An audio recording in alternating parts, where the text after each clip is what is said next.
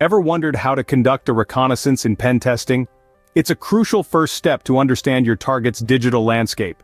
Reconnaissance, or recon as it's often called, is like a digital stakeout. It's gathering intel on a target system to identify potential vulnerabilities and believe me, it's a game changer in the world of pen testing. Think of it as a detective assembling the pieces of a puzzle before cracking a case. You're doing the same, but with networks and systems. The better your recon, the more effective your penetration testing will be. During this tutorial we'll get our hands dirty with some of the most potent tools of the trade.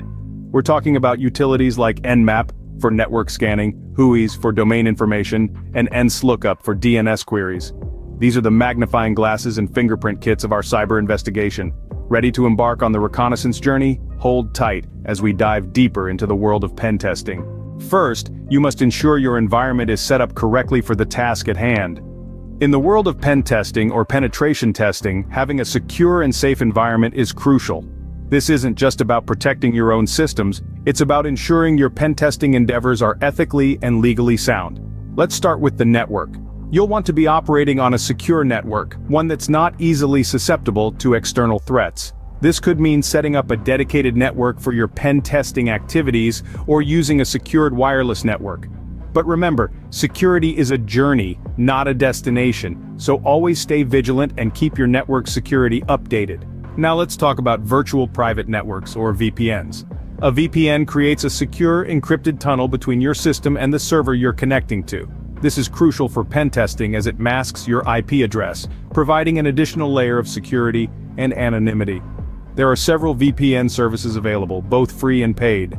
Choose one that best suits your needs and remember to always have it activated during your pen testing activities. Next on the list is your pen testing toolkit. The choice of tools can vary depending on the nature and scope of your pen testing activities. However, some tools are universal and should be part of any pen tester's arsenal. We'll delve deeper into these tools in the subsequent scenes. Beyond the technical setup, there are ethical considerations and legalities to be aware of. Pen testing is about finding vulnerabilities and helping to fix them, not exploiting them for malicious purposes. Always ensure you have the necessary permissions before you start testing and always respect the boundaries set. Finally, it's important to have a system for documenting your findings. This could be as simple as a notepad or as complex as a dedicated software. The key is to keep it organized and accessible, as this will be your reference throughout the pen testing process and beyond. With our environment primed, we can now proceed to the actual reconnaissance. Brace yourselves. Nmap, a powerful tool in the hands of a pen tester, can reveal a wealth of information about a target's network. Nmap, short for Network Mapper, is a free and open-source tool that pen testers use for network discovery and security auditing. But it's not just a simple scanner. Nmap provides a comprehensive view of the network, revealing details such as what hosts are available, what services those hosts are offering, what operating systems they are running, and what type of packet filters or firewalls are in use. Let's dive right into how to use Nmap for network scanning. First you'll need to open your terminal. To scan a network you simply type Nmap, followed by the IP address or domain name of your target. For example, if you wish to scan the host at 192.168.1.1, you'd type nmap 192.168.1.1. Now, what you're seeing on the screen are the results of a basic Nmap scan. The output includes a list of open ports, the services running on those ports, and the version of those services. This information can provide valuable insights into potential vulnerabilities. But Nmap is not limited to basic scans. There are different types of scans you can perform, each with its own unique purpose. For instance, a SYN scan, invoked by adding the SS option to your command, is a stealthy scan that can bypass firewall protections. An ACK scan, invoked with SA, can be used to map out firewall rules. Choosing the right scan depends on the specific context and what you're aiming to achieve. It's important to understand that each scan type has its own benefits and drawbacks. The more you familiarize yourself with these options, the more effectively you can tailor your approach to each unique situation. Nmap has given us insights into our target's network, Let's dig deeper with some other tools. Remember, network scanning with Nmap is just one part of the reconnaissance process. There's a whole suite of tools and techniques at your disposal to gather as much information as you can about your target. WHOIS and NSLOOKUP, two essential tools that can provide us with valuable domain information. Let's dive right in. First, we'll use WHOIS. This is a protocol that's used to query databases to obtain information about the registration of a domain or IP address. The WHOIS command can be used in most operating systems and it's as simple as typing WHOIS, followed by the domain name you're interested in. So if we wanted information on example.com, quote comma, we'd type whoisexample.com, quote dot, this command will return a wealth of information about the domain. Details like who owns the domain, their contact information, where the domain was registered, and when it was created or last updated. This information can be incredibly valuable in understanding who you're dealing with and planning your next steps. Now let's talk about NSLOOKUP. This is a network administration command line tool available in many computer operating systems for querying the domain name system DNS to obtain domain name or IP address mapping. To use NSLOOKUP you'll type NSLOOKUP in your command line followed by the domain name. So for example .com quote comma, it would be nslookup quote dot this will return the DNS server information for that domain. The results will show you the name server and address records.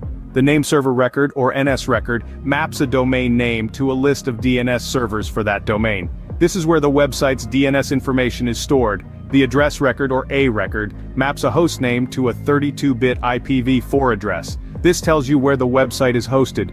This DNS information is vital for understanding how a domain is set up and can often reveal vulnerabilities or weak spots in a domain's security that can be exploited. Remember, the information gathered from WHOIS and NSLOOKUP is only one part of the puzzle. It's essential to combine this with other information gathered during your reconnaissance to get a complete picture of your target. These tools have provided us with useful domain information, paving the way for a more targeted approach. Reconnaissance is not a one-time activity, it's an iterative process that evolves with your understanding of the target. Remember, the more we learn about our target, the better our strategy becomes. So what do we do with all the information we've gathered from Nmap, WHOIS and NSLOOKUP? We refine our pen testing strategy. Let's delve into this. Imagine the information as puzzle pieces. Each scan, each query, is a piece of the puzzle. And the picture we're trying to form? That's our target's security profile. We need to understand this picture to reveal potential vulnerabilities we can exploit. However, this isn't a random process. We need to be systematic and methodical. Keeping thorough notes is crucial. Jot down every finding, no matter how insignificant it may seem. You never know when a small detail might become the key to unlocking a target's defenses. As we gather more data, we refine our strategy. We might need to run more specific Nmap scans or dig deeper into the WHOIS records. We keep refining until we have a clear picture of our target's security profile. Now remember, reconnaissance is not about rushing. It's about patience and precision, it's about understanding your target so well that you can anticipate their moves. And while we're doing all of this, we're also developing our own skills, becoming better pen testers. Reconnaissance is the foundation upon which we build our attack. Without a strong foundation, our efforts could crumble. That's why we spend so much time on it. It's not just about finding vulnerabilities, it's about understanding our target in depth. And there's one thing more, always remember, the tools are just that, tools. They're not magic wands. They're only as effective as the person using them. So keep honing your skills, keep learning, keep improving.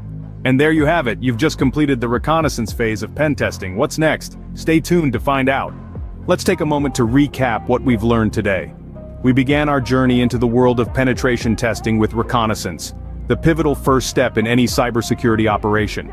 We set up our environment, priming it for the tasks ahead, we then delved into the use of Nmap, a powerful tool for network scanning. We learned how to map out a network's topology, locate live hosts, and even identify open ports and running services. Next, we explored the domain information gathering tools, WHOIS and NSLOOKUP. We used WHOIS to obtain registration data about our target, and NSLOOKUP to retrieve DNS records. These tools gave us a deeper understanding of our target, aiding us in our objective. Through this journey, we've seen how each step, each tool, fits into the bigger picture of reconnaissance. Remember, knowledge is power. Use it wisely and ethically. Until next time, keep exploring, keep learning.